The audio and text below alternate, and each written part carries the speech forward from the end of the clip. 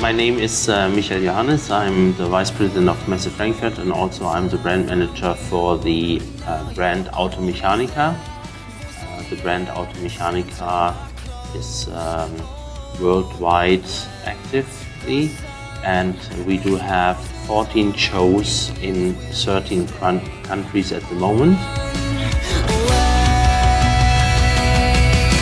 Automechanika is a concept.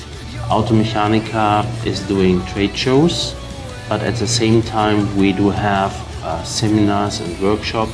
So we do have the Automechanika Academy. And for us it's very important to serve the industry, which means we have to pass information to the industry. We have to create a platform where exhibitors and visitors coming together and showing the whole marketplace. Automechanika has different product groups. So for example, we taking care about repair and maintenance. Uh, we do have um, electronics and uh, components. We have parts and systems, the uh, management and IT. And last but not least, we have the service station and car wash.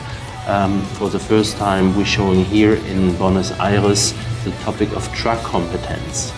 What does it mean? A lot of uh, exhibitors, they do have uh, parts, for example, not only for the cars, they do have also truck uh, components. So we have to make it transparent that Automechanika has a lot of truck business inside as well. So this is a, a very special interest for us.